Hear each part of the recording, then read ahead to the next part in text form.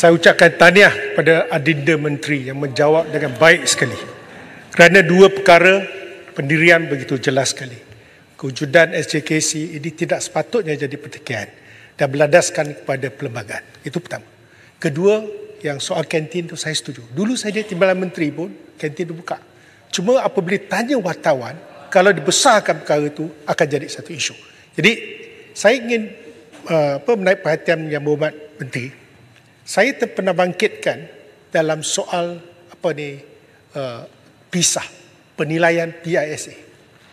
Dalam ucapan saya saya pernah sebut ianya merosot berdasarkan keputusan yang telah disampaikan pada Disember lalu. Apakah tindakan proaktif kementerian? Sebab kita lihat beberapa negara, Indonesia, Vietnam dan juga Thailand sudah melepasi.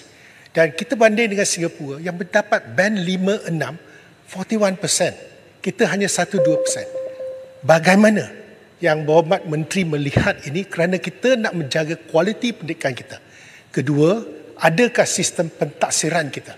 Dulu, biasanya kita gunakan graph uh, setting iaitu mean plus standard deviation. Kita ambil purata dan menentukan berapa passing mark dan juga untuk A plus, A dan A minus. Adakah kementerian menukar atau mengadakan satu anjakan paradigma itu menukar daripada graph setting pada graph fixing.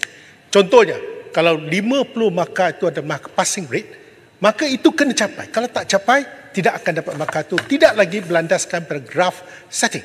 Dan kedua, quality A plus A dan A minus itu, kalau ada setting ni, kalau kata matematik tambahan, 90 and above, baru dapat A plus.